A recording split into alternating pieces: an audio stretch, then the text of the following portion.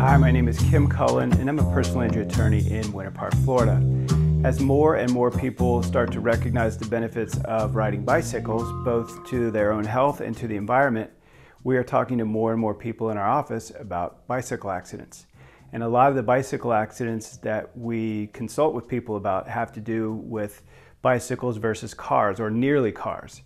So if you're on a bicycle and you've been hit by a car or nearly hit by a car, you're going to want to watch this video.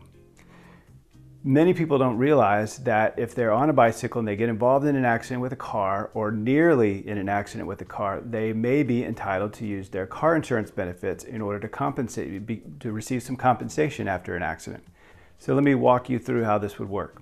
As long as you own a car or live with someone who owns a car, if you're involved in a bicycle accident with a car or nearly with a car, then your medical expenses related to this bicycle accident can be paid by automobile insurance by the Personal Injury Protection or PIP provision of a Florida car insurance uh, policy.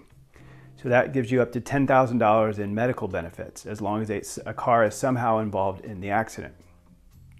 In addition, if the person who hit you has liability insurance, then you may be entitled to recover money from them for the, their negligence and for the damages that they cause you.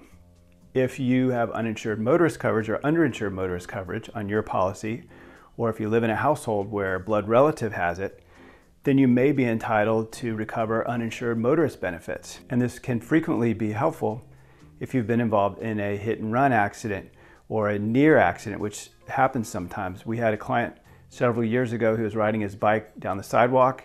He was near a gas station. A car pulled off the road into the gas station driveway and didn't actually hit our client, barely missed him, but caused our client to flip over the handlebars of his bike. He had to slam on the brakes, and he ended up being pretty badly injured.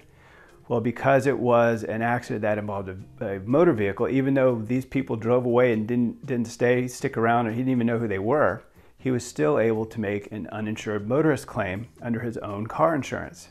Now, the one caveat to that is many automobile insurance policies, if it's a hit and run accident of any kind, including a bicycle, they require you to report it within 24 hours. So luckily, our client had done that. He had picked up his phone. He had, he had an inkling that he would be entitled to car insurance. So he picked up the phone and he called the insurance company. And luckily, they recorded the claim, and so there was no issue with that.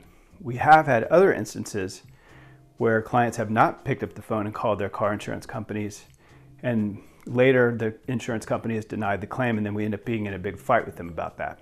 So that's important to know. We, we found over the years that many people don't understand this stuff. They don't realize that car insurance might be available to pay these particular benefits. So if you have any questions about a bicycle versus car accident or bicycle accident of any kind that's caused by somebody else, please call me or my law partner, Robert Hemphill, at 407-254-4901. You can always text us at 407-644-4444 or you can even instant message us through the Facebook app.